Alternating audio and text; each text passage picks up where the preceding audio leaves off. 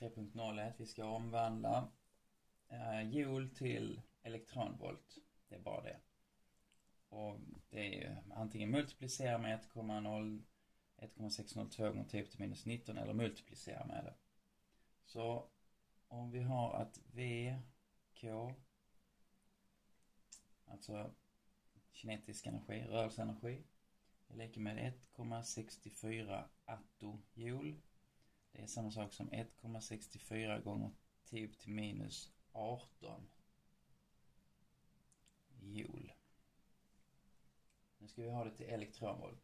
Då dividerar vi med elementarladdningen. Det är samma sak som 1,64 gånger 10 till minus 18.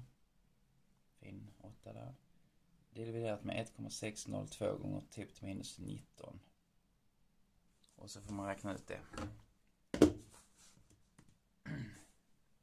1,64 minus 18 dividerat med 1,602. Second E är minus 19.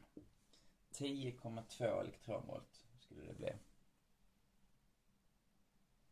I B, aha, jo det var A.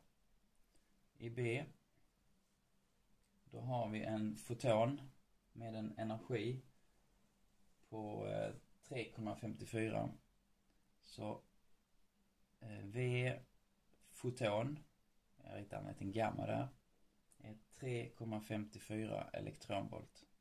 Hur många, eh, hur många joule är det? Ja, då multiplicerar vi istället med den här faktorn, 3,54 gånger 1,602 gånger 10 till minus 19.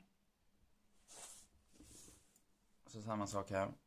3,54 gånger 1,602 second E är minus 19. Så det är så här mycket joule. Men vi ska skriva det i attojoule också. Det är 5,7 gånger 10 till minus 19 joule. Jag vill ha det i attojoule. Attojoule är 10 till minus 18. Så den där vill jag multiplicera med 10. Då får jag dividera den med 10. 0,57 gånger 10 på till 18, alltså attohjul.